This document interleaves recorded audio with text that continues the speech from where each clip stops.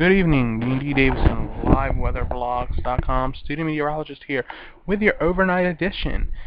We're taking a look at two. We're taking a look at what's going to happen on today on Wednesday, which is severe weather, probably in Nebraska and parts of South Dakota. Hail and high winds are going to be your main threat, but there's not always an isolated shot of a tornado.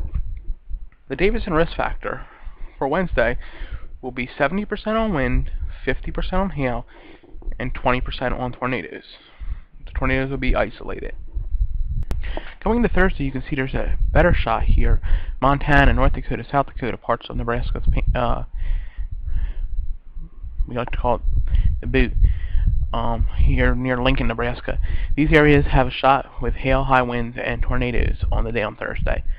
Davison risk factor: 80% wind, 50% hail, 30% tornadoes little more than isolated on tornadic probabilities.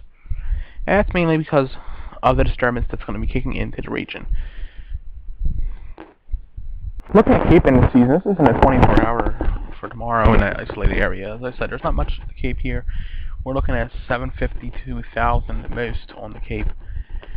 Let's compare that to what we're going to look at coming into the day following with the slight risk. You're going to have more Cape. You're going to have anywhere 15 and 2,000 in the Cape value. So it's going to be definitely more energy to work with when it comes to Thursday in the severe weather realms.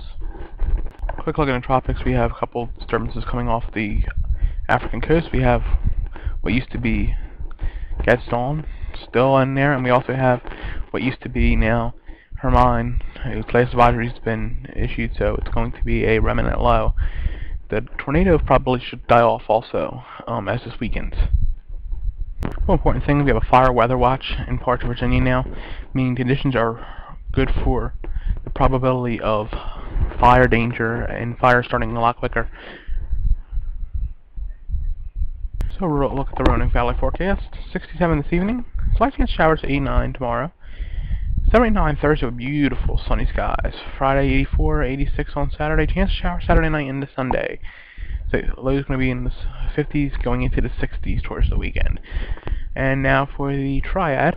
68 this evening, 91 on Wednesday, 88 on Thursday, 85 on Friday with a cool down, chance of showers on Saturday, and into Sunday, lows are going to be in the upper 50s, lower 60s over the period.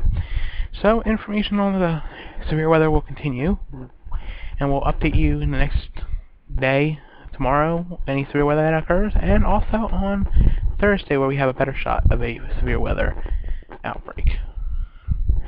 For now, this is Dean D. Davison, liveweatherblogs.com.